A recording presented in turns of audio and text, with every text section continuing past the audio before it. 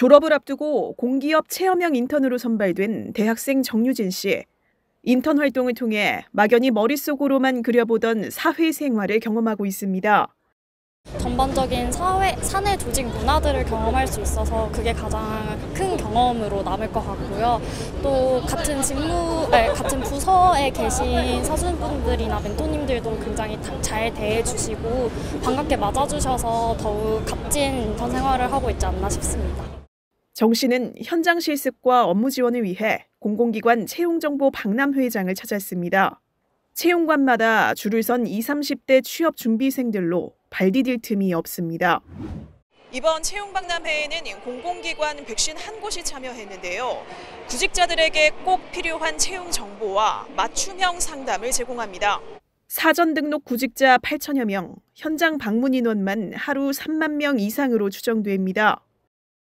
작년부터 조금 많이 규모가 대대적으로 축소되면서 전체적으로 이렇게 침체된 기분 느낌이 있었는데 그래도 올해는 다시 조금 일부 쪽에서는 다시 회복되는 것들을 보이는 것 같아서 그래서 조금은 그래도 긍정적으로 보고 저도 열심히 준비해 보려고 하고 있습니다. 취업 준비생들은 채용 담당자에게 이력서를 보여주고 어떤 방식으로 채용 절차가 진행되는지 설명을 듣습니다. 자격 요건을 설명드리면 저희는 블라인드 채용을 하고 있기 때문에 학력, 연령, 성별, 경력 등과 관계없이 다 지원이 가능하시고요. 예상보다 많이 몰린 인파는 여의치 않은 채용 시장 분위기를 실감케 합니다. 많은 분들이 조금 저희 기관에 대해 관심을 갖고 계시고 많은 것들을 문의해 주셔서 어, 얼마나 이 구직 활동이 어려운지 한편으로는 좀 실감을 할 수 있었고요. 저희 기관도 좀 그 기대에 부답하고자 올해도 좀 많이 채용을 하고자 하는 좀 마음가짐을 갖게 됐습니다.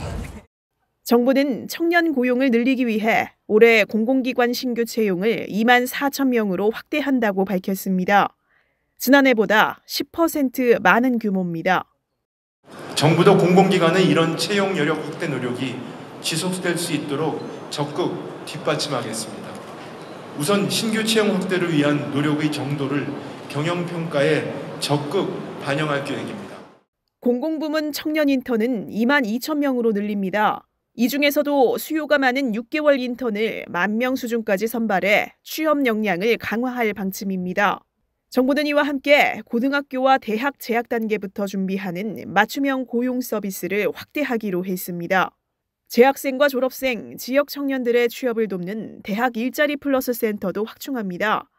직무 경험을 중시하는 채용 시장 흐름을 반영해 다양한 직무 능력을 쌓을 수 있는 일경험 프로그램도 늘릴 계획입니다. KTV 이혜진입니다.